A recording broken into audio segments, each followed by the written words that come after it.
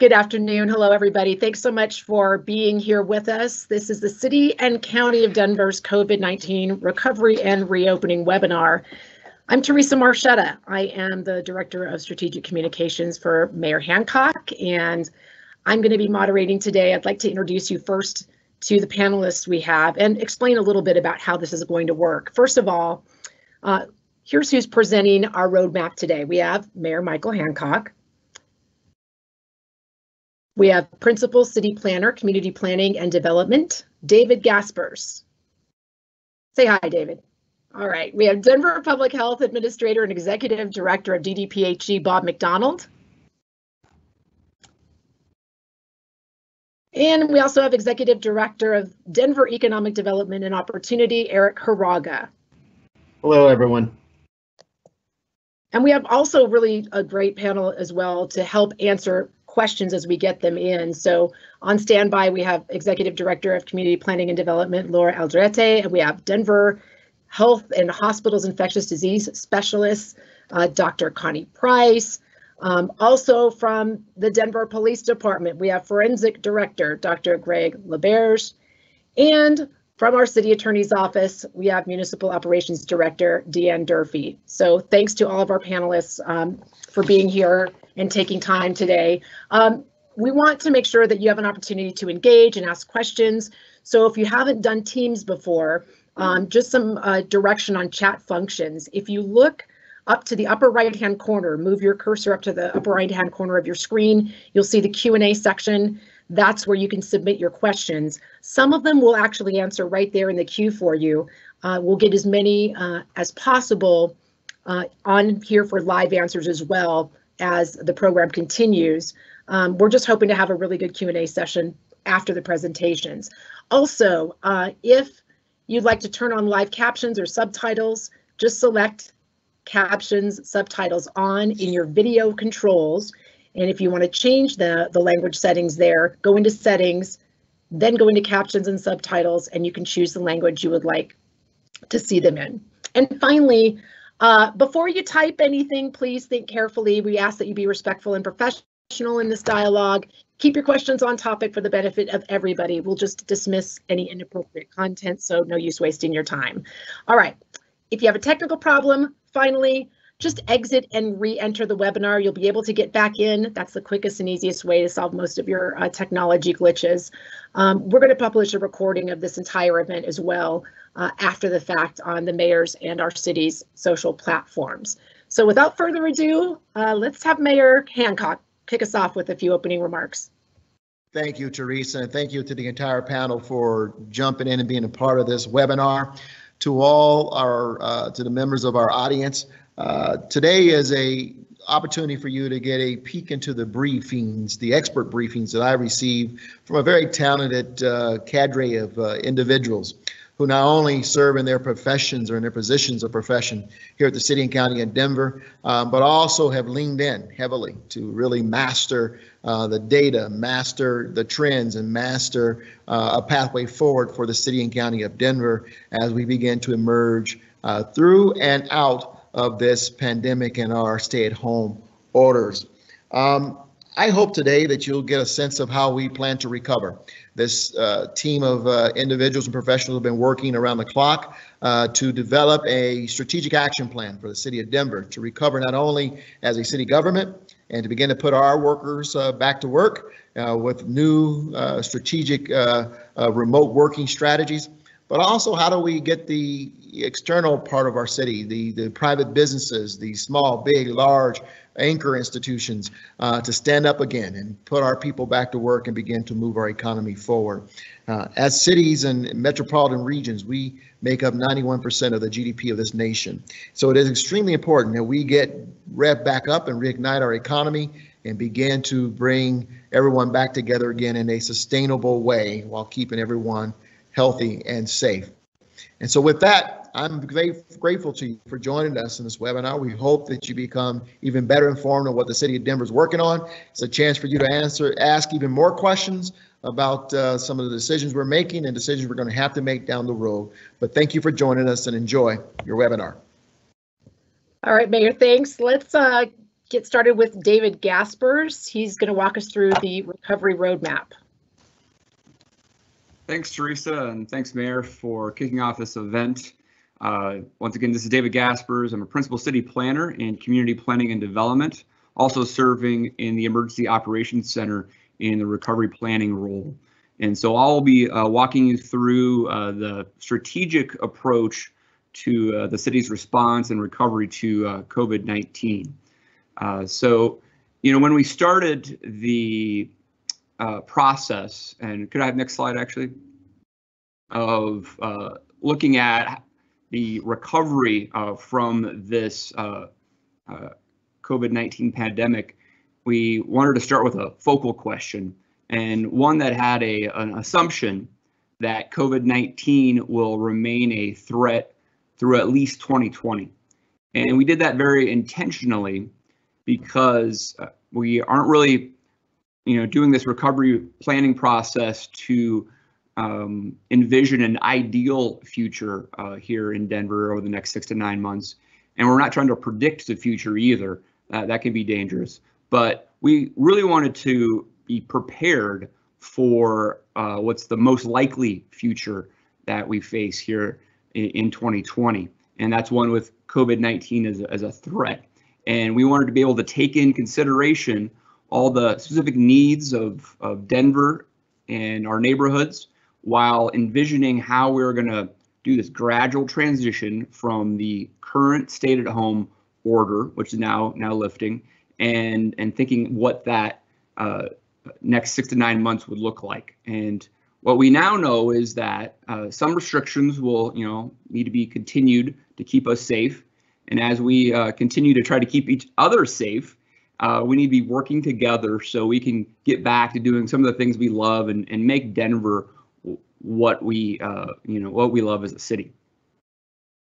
And it's through the recovery planning process, uh, we looked at multiple different scenarios of how uh, the next six to nine months could look, and and in all of those scenarios, we identified some common actions that uh, seemed like uh, the city was going to need to prioritize as we respond and start to recover from COVID-19. So that's what we call our response priorities. Uh, these are things the city are going to have to be doing uh, that may not be typically what the city business is, but what we have to be doing here in 2020. And so that's uh, thinking about how we're caring for the sick within our hospitals. Um, how are we continuing to prevent infection among our medically compromised uh, uh, neighbors? Uh, how are we trying to reduce the social, emotional, and economic disruption that is upon all of us here in Denver? How we are continuing to expand the capacity of our testing and the contact tracing. You heard a lot about that from Bob McDonald at the press conference. How are we protecting our most vulnerable uh, community members, as well as protecting our small and minority owned businesses, which may have the uh, biggest impacts on them from the uh, business community. We also want to acknowledge um, that the stay-at-home order and and these continued restrictions do have an impact on uh, Denver's quality of life. Uh, let's let's be honest, it's, it's hard at times, right? And uh, we need to think about those those impacts on how we can start getting back some of those things, right? And so what we're talking about here is uh, healthcare systems, for example. It's not just the COVID-19 patients, but other uh, healthcare needs, right? Emergency or non-emergency procedures and actions that our our community uh, members need to have done. Um, our access to uh, fresh food has been hindered, as well as uh, access to stable housing opportunities. Um, the local and regional economy has been hit uh, significantly through this, as we can all all know and that has impacted our the city's budget and our means to be able to financially recover from this. That's going to impact us for maybe years to come, and uh, it's also had an impact on how we are interacting with one another, with our access to our parks, recreational opportunities, the public spaces that we hold dear, as well as our, our cultural amenities. And so through the recovery planning process and thinking about those impacts, we also need to acknowledge there's a lot of forces that um, impact how the, the city responds to the situation, right? What we call community-based response factors. Um, and so those are things that we need to keep in, in mind at all times, but knowing that we may not always be in control of those, right? So community needs, uh, what, what the community needs from the city at this moment, um, whether our healthcare system has the capacity to handle uh, it, the demand, uh, the demands on social and human services across the city, uh, the state of the economy, not just the local economy, but ultimately the, the global and national economy and how that impacts how Denver recovers. And uh, we also need to keep in mind the infrastructure partners we have. And as we start to reopen for business and return to work, are, are they prepared to do the same? And do they have uh, what they need to, to operate? And then ultimately the cooperation amongst all of our metro and state governmental partners. Um, so we're aligned with, with their thinking on, on these response and recovery efforts. So what we landed on were six indicators to uh, ease COVID-19 restrictions. So these are uh, how we're going to monitor uh, and how we have monitored the decision to lift the stay-at-home order, and as we go forward, any additional lifting of restrictions. I'll run through each uh, of these six indicators. Next slide, please. So the first indicator is, is the disease transmission stable and manageable. You may have heard Bob McDonald mention this uh, before. And this is a uh, indicator that we do have data that we can look at. And what we're going to be focused on here is the hospitalization rate. And is the data indicating there's a steady or declining rate of hospitalization? And we also want to be leaning on our public health experts and regional partners um, to make sure they're agreeing that it, it is appropriate to gradually ease restrictions in a phased manner. Indicator two we're using is uh, health systems are able to detect, test, isolate, and treat every known case and every known contact. And so here we're talking about uh, the ability to have enough PPE supplies, um, enough bed capacity, and enough uh, staff in, in our healthcare system to manage the situation. And, and, then with the healthcare system, does it have the capacity not only for COVID-19 cases, but other healthcare needs without um, going to a, a, crisis care scenario? Um, and then the testing. Do we have uh, the the kits um, and the centers to actually uh, test and process up to a thousand daily tests, uh, and hopefully above and beyond that? And then um, do we have the tools uh, and the staffing trained to achieve our goals with contact tracing? So these are all things that we're going to be monitoring um, uh, as we go forward.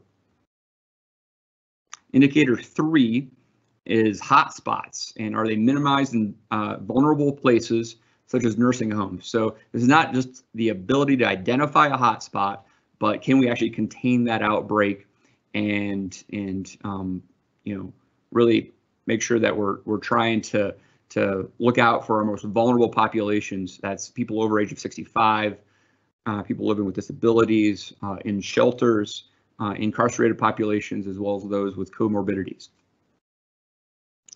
Indicator four, and I think you'll hear more from uh, Bob and Eric Hiraga on this um, in this webinar, is schools, workplaces, and other essential places have established preventive measures. So this is all the, the guidance and the protocols that we're uh, laying out so everyone knows um, uh, how to do this, right? So are we establishing those those guidelines um, for private and public sectors? Um, do they have enough PPE themselves and sanitation supplies to keep everyone self, safe? We're going to have to monitor that on a regular basis, make sure that we have the supplies necessary. And also, are we supporting businesses um, to achieve uh, the social distancing uh, requirements and giving the guidelines and the support to employers uh, so they uh, so all of this can be enforced? Indicator five is the uh, risk of importing new cases uh, can be managed. I will note that this list of six indicators were based off of the World Health Organization's indicators. We did customize them for Denver. This is an example here where we did want to really think through the importance of uh, Denver International Airport as a portal to the, the region and the world um, from Denver. And so we wanted to make sure we had indicators uh, so we can establish the right measures to ensure passengers and employees are safe at DEN. And we also want to think about how we're moving back and forth between our mountain communities and the tourism and outdoor recreational activities uh, that may be limited very early, but maybe if we do lift additional restrictions, that that movement could occur more often, and do we have the right health guidelines in place? And we also want to be aligning with our regional partners all along the Front Range um, with these these protocols and measures.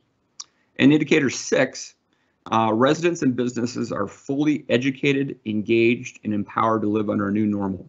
So this is all about um, how we're communicating uh, with all the communities that need to know this information, uh, that we're getting the messaging out, and, and it's going to be an effort that's going to take a long time, but we need to make sure everyone is always buying in and and thinking uh, and understanding the importance of, of what we're doing here as a community. And so we want to make sure that people are complying with the guidelines and restrictions and they understand why. We also need to acknowledge that a lot of work has been done. It's been amazing that uh, this has only been about two months really when this uh, hit uh, Denver and, and the state of Colorado. And there's so much work has been accomplished already. We have uh, achieved increased bed capacity. we have obtained, um, I think, millions of pieces of PPE. we've established new auxiliary shelters. Uh, we have increased our ability to test both COVID-19 and antibody testing, and we've had extensive collaboration across the region as uh, all of this has unfolded. And so what does that all mean going forward? I think the, mayor really outlined the phase transition in the press conference quite well. This is uh, a slide that speaks to that idea that, you know, we have this initial phase where we're going to be moving from this broad-based stay-at-home order to more targeted health measures that continue to promote uh, the, the health and safety of Denver residents. And if COVID-19, uh, the situation continues to be stable and manageable, um, that we can consider addition, uh, lifting additional measures uh, on a monthly basis. And we don't want to lift those too early uh, without good data behind them, but we want to continue to use those six indicators as we go forward. And that's acknowledging that at any time that if we start to see uh, a trend in the wrong direction, um, that we need may need to uh, reinstate re restrictions uh, to ensure the um, that we keep down in our resurgence. So the first phase, and this will be where we'll go into more detail here, but the continued wearing of masks, we know that there's a um, public health order starting tomorrow with that. Uh, you're going to continue to see that practicing of social distancing uh, the recommendation to continue to work from home whenever possible is important. Uh, large gatherings will still be restricted, and then businesses and in industries will be operating at a reduced occupancy uh, going forward. And at the end of the day, we need to think through how the city can help everyone in Denver thrive, right? Uh, we have uh, different vulnerable populations that we need to really put at the forefront of our thought and have that equity lens on this entire effort. And so we want to be thinking about how we can be reducing barriers for small businesses to re-enter the economy. Um, how are we helping um, some of our most vulnerable neighborhoods with food supply and economic assistance and housing stability? Um, the availability of childcare for many of our, our workers, uh, providing training or retraining for employees uh, to uh, assist in the mitigation of COVID-19 um, providing technical assistance uh, for small bu businesses so they can actually achieve a work from home model um, and, and allowing them to, to uh, keep that social distancing in their office by keeping more of their, their workers at home. And then finally, um, helping businesses access the state and federal funding resources as well as advocating for those additional funds. That's uh, it for our strategic recovery roadmap. Uh, I'll throw it back Thanks, to David. Teresa. Perfect. And I, am really, before we move on to our next presenter, David, um, we're getting a lot of questions and I think you can just quickly answer this for us. As you talked about the phasing here, we're getting questions about libraries and rec centers. And maybe you can give just some context around how they, those kind of places will fit into the phasing. Right, yeah, so they are not open on May 9th, so they're not part of this addition, uh, first phase. Um, but uh, they could be a part of the next phase of, of reopening uh, the city. And we'll want to make sure we're aligning with our, our state and regional partners with that. And so we'll be monitoring the, the data, those indicators, and if, if, if it aligns with our state and regional partners, uh, that those could be lifted in the future. Okay, and let me let me bring Deanne in from the city attorney's office. And Deanne, maybe you can also give us a, a feeling to broaden that out, a reminder about where we are with mass gatherings or large gatherings. And we've gotten a lot of questions as well. And thank you for those of you submitting your questions about um, festivals and you know the kind of things that we look forward to in the summertime, in addition to libraries, rec centers, those kind of bigger gatherings. Um, maybe you can just give us a reminder on where we are with that and what we can expect. Sure. So mass gatherings are still prohibited uh, if they're over 10 people. So you can have gatherings uh, up to 10 people after May 9th, but until May 26th, the 10 person limitation is going to be in place. The city and the state are still going to be looking at what opening they'll be able to do after May 26th, but festivals, um, concerts, things like that, uh, gyms are still not going to be available through May 26th. All right, let's uh, bring in Bob McDonald, um, Executive Director of DDPHE. And Bob, we'll let you talk a little bit about how health data is informing all these phases of recovery. Yeah, thank you, Teresa. So Bob McDonald, uh, Public Health Administrator for the City of Denver and uh, the Director for the Department of Public Health and Environment. I want to thank you, David, for setting the stage to talk about probably two of the more important of the six indicators uh, in terms of how we make decisions to go from one phase to the next. Um, what you're looking at here is data that our partners at Denver Public Health collect on our behalf so that we can make these informed decisions.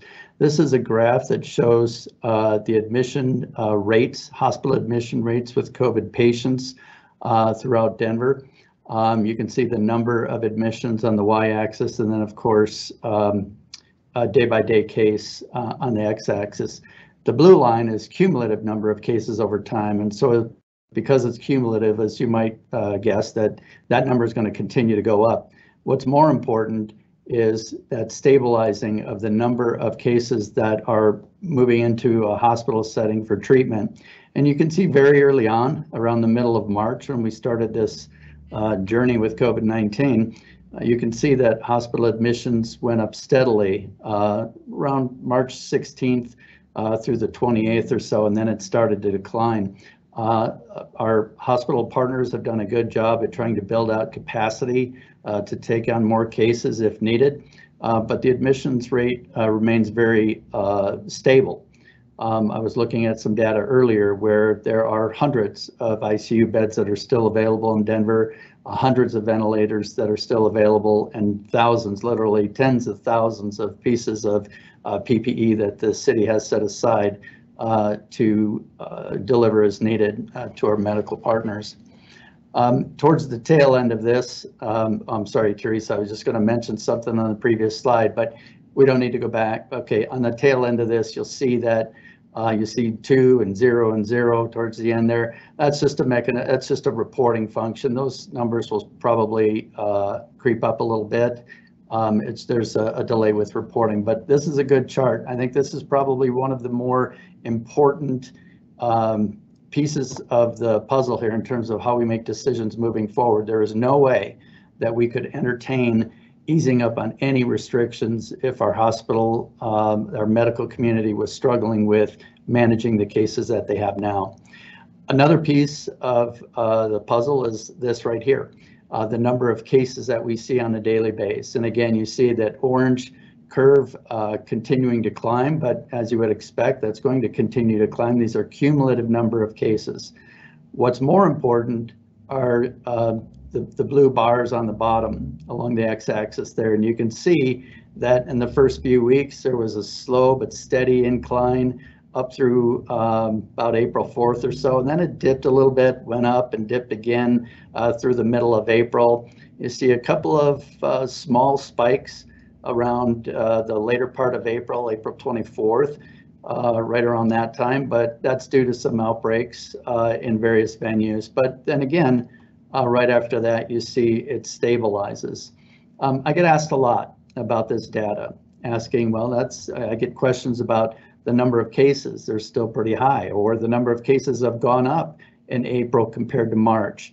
A um, couple of things that's important to keep in mind when you look at this data. One is that you would expect the number of cases to go up as testing capacity goes up. That's the very reason uh, that we don't look at just one metric. You have to couple that with available PPE. Um, is that stable? You have to couple that with hospital admission rates and their capacity to handle more cases. So this is some very stable data here. Um, a second question that I often get with this data is the number of positive cases uh, in relation to the number of cases being done is still fairly high. Again, um, you know, we the, the focus has been fairly early on with the limited number of tests that could be administered. We had to focus and still to some extent are focusing on those that have symptoms consistent with COVID-19. So you get what you test for. If we're focusing on testing people who are going into a hospital setting to be treated for symptoms uh, consistent with COVID-19, and that's the majority of who's being tested, then the positive rate is going to be fairly high. As we build out capacity to do more testing, uh, then I would expect that number will decline. So these are uh, very important pieces of the puzzle here. I was asked a little bit earlier, how do you decide when you need to back up with what's been lifted or how do you decide when you need to move forward? Well, we look at those indicators that David had mentioned and generally speaking, if, if we ease up on some of the restrictions and we see case numbers and hospital admissions start to uh, increase consistently um, and significantly over a five-day uh, time frame, then we need to act quickly on that and look at buttoning things up a little bit.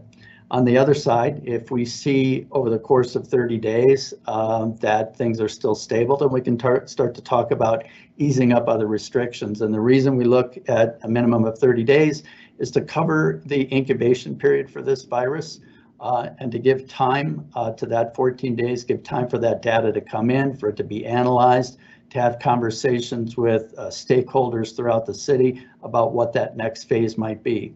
So that's how we manage this moving into this next phase, and we'll continue to keep eye on, on these two, two uh, indicators and the other four that David mentioned. Uh, and with that, I'll turn it back to you, Teresa. Thank you, Bob. And Bob, I have a question. Um, this is from one of the folks um, tuning in with comments to the webinar saying, what does frequent disinfecting mean? So yeah. when we talk about frequent disinfecting, yeah. um, you know, give us a little more specifics on that. Sure. Well, you know, the one of the things that we have going for us with this virus uh, in comparison to other organisms that we sometimes deal with in the public health department is, is not very hardy.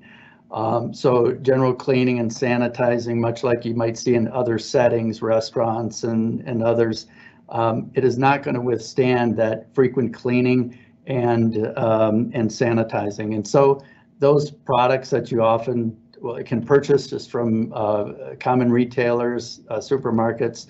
Uh, those are going to do the trick. In terms of how frequent, uh, you know, I don't know that I can answer that. What I well, what I can suggest uh, and say with certainty, the more frequent, the better. Uh, it's going to have a lot to do with the way employees navigate through an office setting, how many common surfaces that they touch. it's going to have a lot to do with that. Uh, it should be done throughout the day as much as possible to the extent that that can be done uh, in the various settings that we're trying to uh, implement those environmental controls. Um, so multiple times a day, if not hourly, if possible. Okay, thank you, Bob. Um, and before we before we jump to our next presenter, I have a question for Dr. Price, please. Um, and again, this is coming in on the chat. And Dr. Price, the question is asking about the testing that's being done and if it identifies other mutant strains. Yeah, so the testing being done will identify COVID 19. It's not a perfect test, it never has been. Um, but even if it's mutated, it will still pick up the, the virus. Dr. Price, thank you so much. Um, and now we're going to shift over to Eric Hiraga from DEDO. He's going to talk about economic recovery. Uh, take it away, Eric Hiraga. All right, thank you, Teresa. Good afternoon. Thank you for allowing me to speak today. Uh, I'm here to speak more specifically about how we are planning for economic recovery in Denver and how the Economic Relief and Recovery Council will play a critical role. On the next slide, uh, my colleague David Jasper just uh, took you through the city's roadmap to recovery. So this is a familiar slide. I'm not going to go through these pillars again. However, I wanted to point out that we are approaching this as a collective team across the city. This work will be shared across agencies to help everyone in Denver thrive.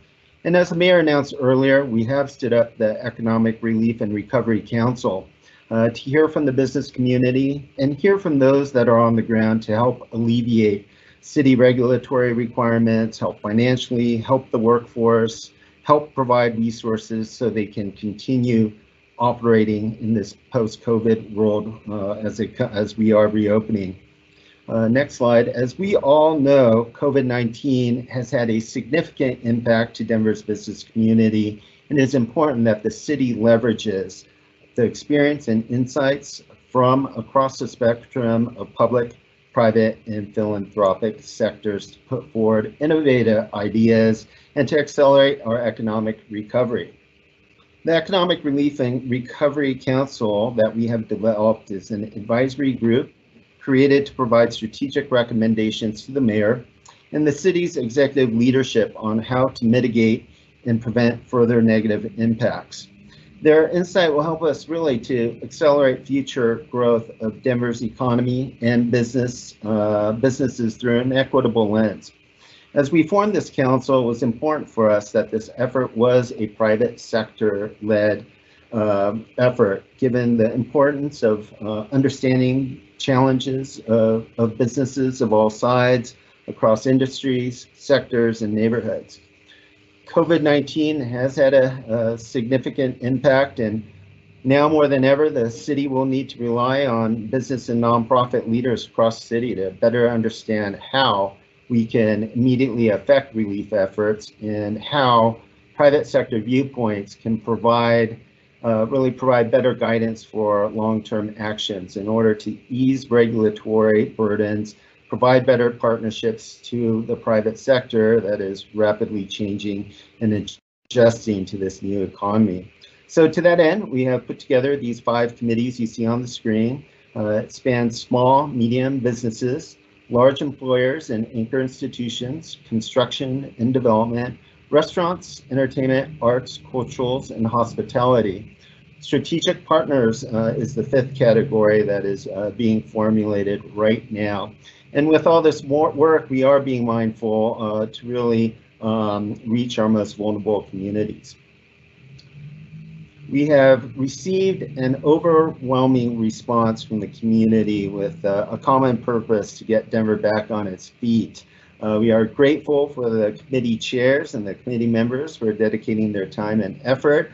Uh, I'd like to once again thank uh, Lori Davis, uh, Grant Thornton's Denver office managing partner for stepping up and really leaning in to lead uh, this important game-changing work. Lori has worked across many industry sectors and she has the passion and care for the community that we need and uh, that makes her the, the ideal candidate for this role.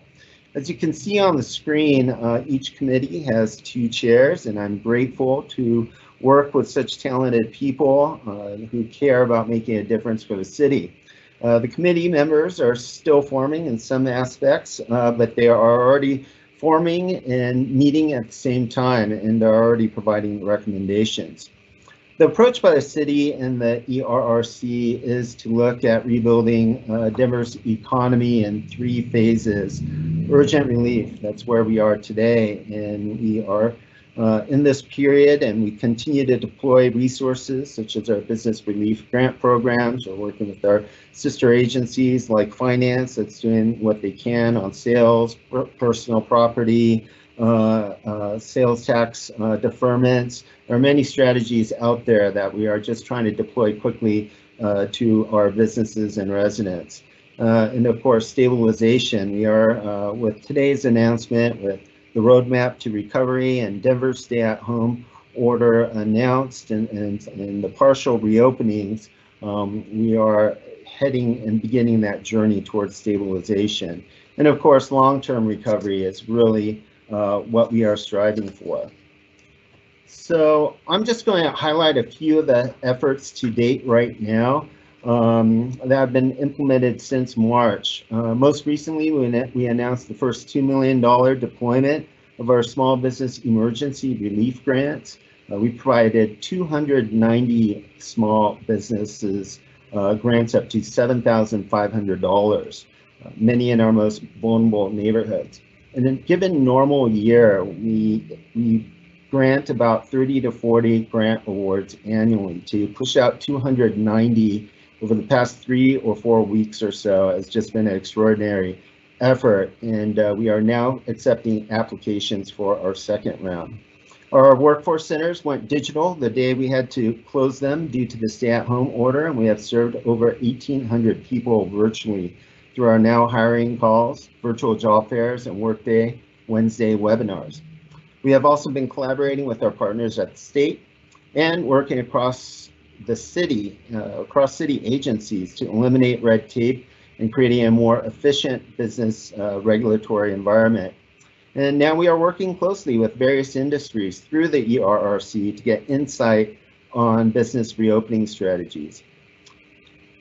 While we have been focused on short-term relief and on how we safely reopen businesses, we are also developing plans for economic stabilization and long-term recovery, specifically looking at service gaps, identifying what resources already exist, where the city can either enhance or fill a gap in services that would support economic recovery.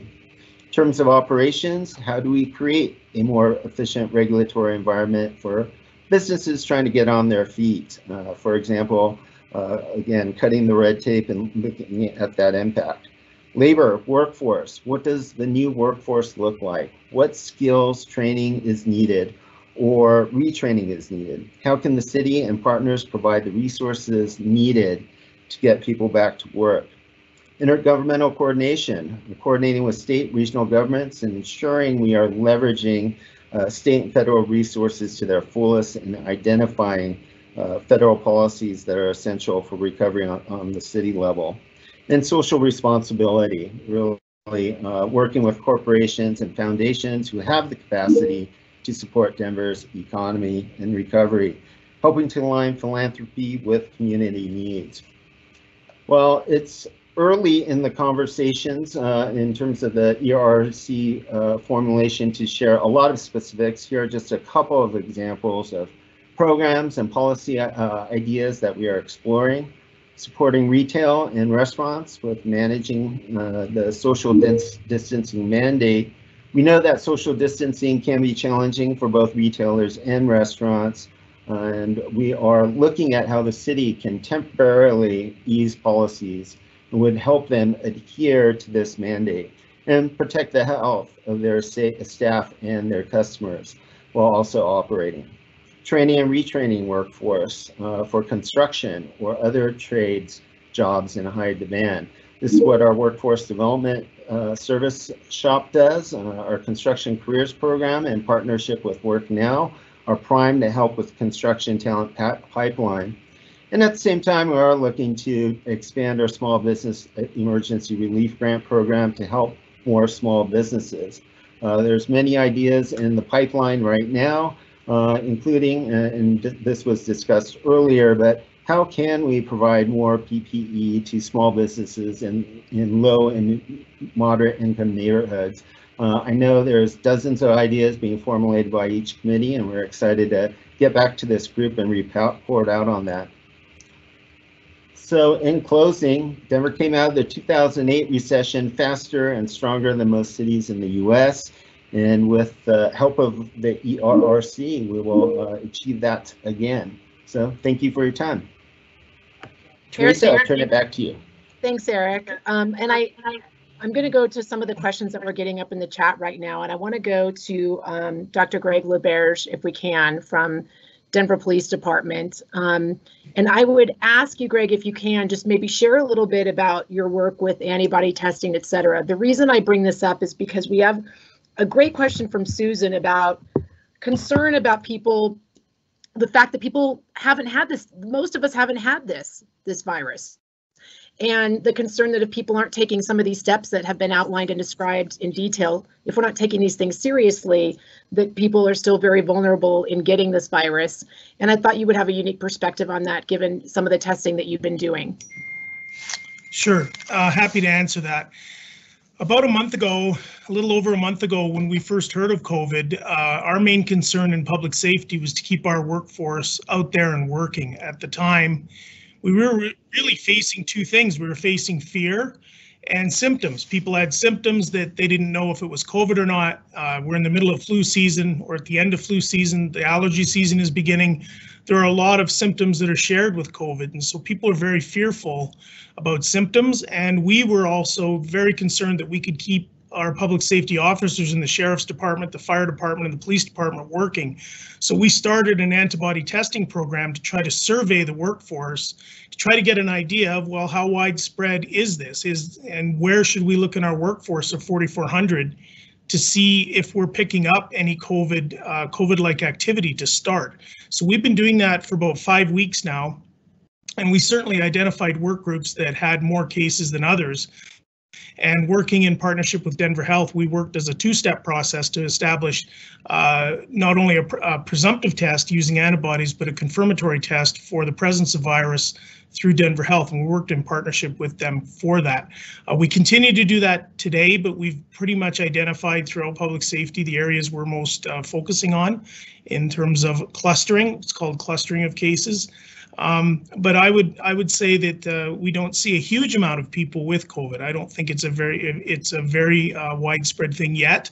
I think that is why you hear the advice coming out that it's still possible and could spread, and you're hearing the advice about wearing masks and taking a, uh, a longer term approach, a marathon versus a sprint, in terms of protecting the community by protecting yourselves and protecting your neighbors. And I think that's good advice as we roll forward. There are a lot of unknowns, as as other people have mentioned. When it when it comes to this virus, it is a form of of SARS, is SARS-2, and I think it's something that we all as a community need to be aware of uh, moving into the summer months. The, the weather may not clear it up for us. I think our behaviors are key to to mitigating the spread and allowing our health professionals uh, to be able to mitigate whatever happens in the future. So I think following the advice that's given by the mayor and his uh, leadership team is is wise. Um, we certainly are doing that in public safety so that we can have our police, fire, and sheriffs on duty. Uh, and we've had less than 1% of our people have a problem at this point. That's great. Thank you so much. I appreciate that. And I want to, this one will go to either Bob McDonald or Dr. Price. And Bob, I'll start with you. But just a clarification for folks who will be giving, um, testing their, their employees' temperatures, you know, taking temperatures as their employees are coming into work. Um, this is one of the requirements that is in sync with the state. Uh, the question is, what if someone's coming in from outside and they're warm, et cetera? You know, they're wondering about how long do you have to wait to retake the temperature again if someone's just coming in from outside, or what are some more specific protocols around that to get accurate readings? Well, it's an excellent question. You know, every day we walk into the EOC, the Emer- city's emergency response center, and in the early stages, we were walking in with very cold skin, and and people are taking our uh, thermometers with a, a, a non-contact forehead uh, thermometer, uh, and many times it raised low because uh, you know having just come in from the outside. It's an excellent question. I don't know that there's a a, a clear-cut answer for that. It's going to be depend upon uh, how warm a person is and you know where they've been, how, what they've been doing before they walked in to get their uh, walked into a venue to get uh, to have their uh, thermometer, I mean their temperature uh, checked. I think it's important to be aware of that. Um, but if something reads very high or read, reads very low, then I would encourage those that are taking that test to wait a few minutes here until um, a person's uh, temperature can stabilize a little bit um, because it, it's a very good question. People can get a false reading dependent upon what the person's been doing before they had their temperature checked. And I don't know if uh, Dr. Price has any more that she could add to that, given her medical background.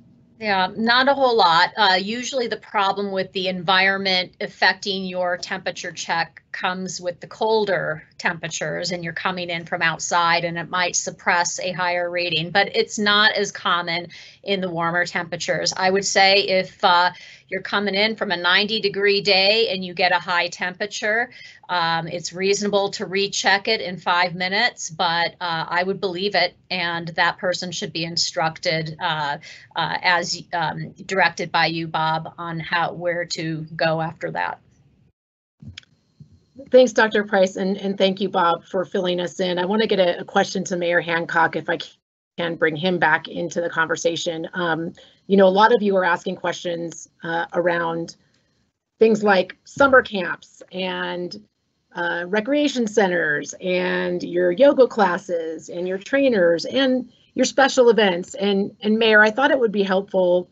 I know that we're kind of, we just announced this first phase and now we've got all the, the next set of questions about the next phase, right? And when we will know and when we will, and I think, I think it will be helpful for people to understand all the factors that you are balancing not only just the health and safety aspects, but the coordination with state, our state government, our regional partners. I mean, there are so many factors um, when it comes to these larger gatherings or, or these kind of spaces where we interact. If you want to talk a little about that. Yeah, Teresa, but no greater factor that we look at than how do we keep people safe, right? and and exercise uh, social and physical distancing in a way that will keep people safe, including our children. And listen, I, am a I'm a father, and uh, thankfully uh, my children are older now. They're not going into summer camp, so we don't have to. We don't worry about summer camps as much as I know many families around Denver are having to worry about what they'll be doing with their children this summer, um, particularly with recreation centers closed and and libraries closed at this point in time we are we want to see these these avenues and institutions open as much as you do um, uh, for the same reasons. We want your children reading, we want them to recreate during the summer, and we want them to be able to engage in a lot of other activities, as well as to make sure that there's safe, healthy um, places for them to go for the summer months. Um, but we also we have to take the health and safety first and to begin to roll this out slowly. As much as I want to give you answers that on this day we're going to be able to open these things, um, we have to be cautious. And and unfortunately, I don't have those answers yet until we're able to see one how we're complying, how the measures we're putting in place begin to give our public health administrators and medical professionals the confidence that we can open it up even more and have greater capacity. Now, with that said, um, there may be a time where we are able to say, uh, you know, camps can open. However, it won't be for the, the amount of capacity that you normally have. You might be used to having 30 kids. Well, this summer, uh, you will only be able to have 20 kids um, or 50 kids, and this summer you're only going to have 30 kids. So the reality is that there's going to be some regulations in place, and I'll finish on this. I said this in the last press conference. This is going to be a different summer than we're used to. Concerts, festivals, summer camps for our kids, all the activities that we are used to um, either going to be scaled back greatly or not held at all. And I would prepare uh, now, if it were, you know, me and my family now to to uh, manage through the summers with a lot different uh, landscape than we're used to. So, you know, not really able to answer the question, but to give you kind of the transparent, very direct uh, conversation that we're having all over the city. And Mayor, as long as I have you, because we only have a few minutes left, and I, I, there are a couple of themes that are coming that are coming up. Um, a few times that I want to get to. One about our smaller businesses that are still closed and struggling. The other one is about a phrase that we kind of take for granted in the mayor's office and at the city and county of Denver, which is putting things through an equity lens. Um, you know, when we say that, and I know David Gaspers in his presentation talked about the equity lens, um, not everyone might understand what that means. Um, department to department, plan to plan. Can you share a little more about what that means? Yeah, it really means taking a step back and and really asking ourselves the question and allowing ourselves or really forcing ourselves to analyze how certain decisions we're making impact different groups. And I mean, COVID, a perfect example of really understanding equity. We have health disparities that have been a part of our society for decades, generation after generation. A lot of that has been exacerbated during this pandemic. Um, it's hit communities of color, African Americans and Latinos much greater than it's hit other demographics proportionally. And so we have to ask ourselves, one, how can we, the decisions we make, how can they help lift and protect those demographics even more than others uh, as we go forward? How do we, you know, we're going to open up shelters, make sure that they're ADA compliant so that people who are in wheelchairs, people who may be hearing impaired, sight impaired, um, can navigate safely. Equity means looking through a lens that says not everyone is equal. And even if they were equal, based on maybe cultural backgrounds, health disparities, um, they may uh, respond differently to whatever decision you're making. And so we've got to take into account how our decisions may impact certain demographics. That's really what equity does. Thinking about those things early so that you don't have to try to correct disastrous results later on. And I can tell you that our inclusion and equity team have been embedded in our emergency operations center uh, very, very early on uh, to help guide some of these key decisions.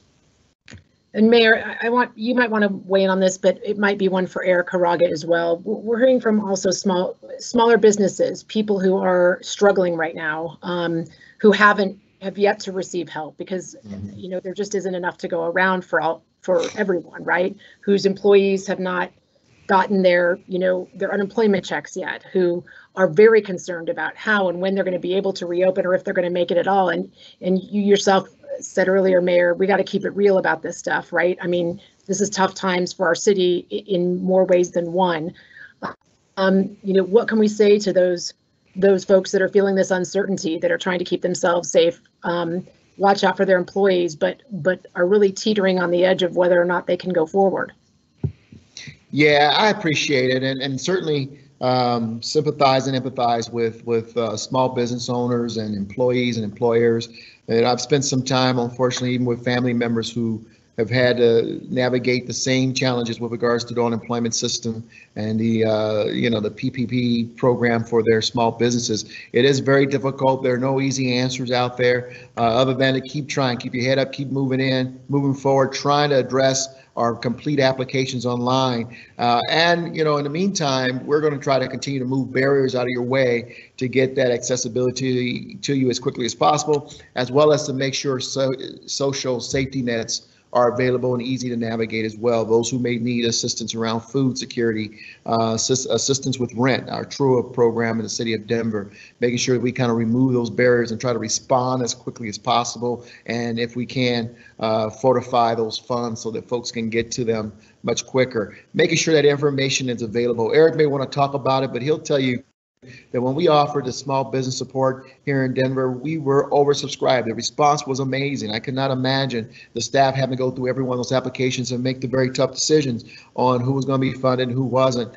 And then unfortunately, at the federal level, we had a situation where the bigger boys got uh, their bite at the pie faster than small businesses, small and medium-sized businesses. So I'm glad a third stimulus package was approved so we can get to smaller businesses. And Eric is getting ready for a second round. And again, we have a social safety net system that is set up at denvergov.org through our Human Services Department um, to help respond as well. Eric? Yes, thank you, Mayor. So uh, you are correct. Uh, in, in terms of the first 2 million serve 290 businesses. We have another 2 million in the second round. But really, we are only touching about 10 to 15% of businesses that are actually applying uh, for these loans. But I encourage you to reach out to our office, uh, Economic Development Agency uh, on denvergov.org.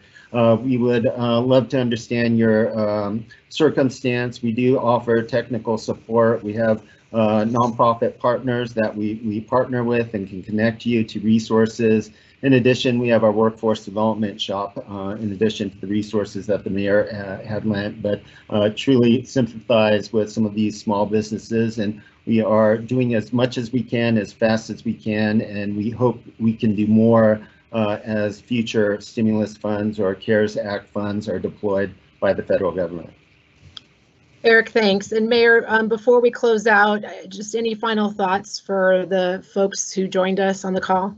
Yeah, let me thank the panel as well uh, uh, for taking time to be a part of this and to everybody who joined in. I hope this is helpful to get some of the deeper, um, uh, get, get a deeper understanding of some of the issues that I listen to every day again from this expert group of people who advise me on helping to make some of these tough decisions. They're not easy by any stretch, um, but we are focused on balancing, protecting the health and safety of our residents and reigniting the economy and, and moving forward.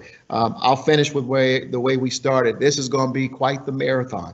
Uh, slow roll to go fast, but as a city, we are committed to doing what we need to do now so we can do what we want to do down the road. And if we all remain committed to that by wearing our masks, practicing social and physical distancing, washing our hands, keeping sanitizer safe and close for ourselves and for our employees, uh, we're going to get through this and we're going to continue to remain on this side of the epi curve, the place that we have fought for, and hopefully continue to see a decline, particularly as we beckon the the uh, season of uh, the flu coming on. Uh, we don't want to see uh, the spike in the COVID and the flu season uh, simultaneously. We we've got to be prepared to protect one another. When you wear a mask, you're protecting me. When I wear mine, I'm protecting you. Let's care for one another. Let's enjoy our day and let's take care of each other. Mayor, thank you so much, and I want to thank everyone who joined us today. Um, if you missed part of this, we are going to post the entire thing. You'll be able to share it. We'll publish the recording of the event on the mayor's platforms as well as on our city platforms. Um, and if we didn't get to answer your question specifically, please trust that we are going to get all those questions in the chat queue and we will get those answered to you just as quickly as we can. Stay safe, keep calm in Denver on. Thanks for being with us.